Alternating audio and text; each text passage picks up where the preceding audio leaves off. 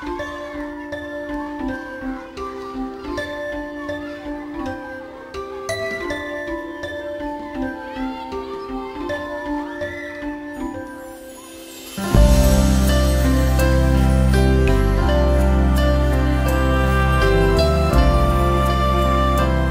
name's Krista Harrison and I'm the Dean of Students at Bettsville High School. It has been my privilege to be working with medical students from the Tech Center and Bethany Wagner, Katie Foy, Tiffany Grove, Andrea Lang, and Kaylee Miller. They have done an outstanding job on a project dealing with a very tough issue.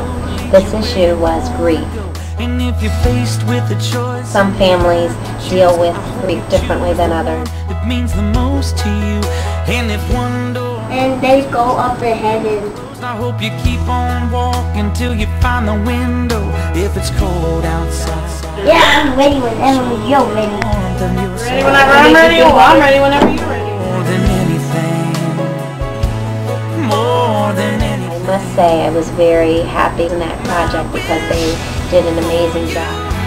Is that this life? We do a lot of fun stuff together. All that you wanted to, you A small group consists of students who had lost a parent. never need to carry more than you can Game time. And while you're out there getting where you're getting to, I hope you know some And it was amazing how they just really bonded with the students. things too. We're get started with our activity of making the standard. Is my Talk to them about colors have to do with feelings. never look That, that's cool. Never forget all the ones who love you in the place you left. I You're so always forgive. They were just their good friends. And you help somebody every chance you get. Oh, the Take teachers our are time. here, and then when you pop it, they're all leaving. Stay and always give more than you What's in there? It's paint what's in there. Dang! It's like a party in there. I feel that these students have learned a lot from this program. I feel that they have given a lot. I feel that they probably don't know how many doors they probably opened for some of these children. That this isn't always a subject that's easy to talk about.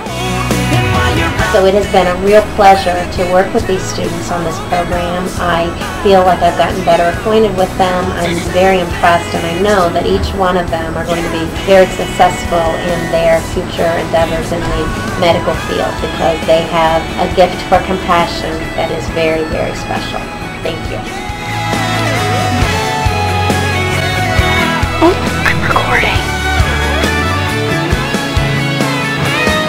Speedy, Speedy Gonzales, like, like, oh.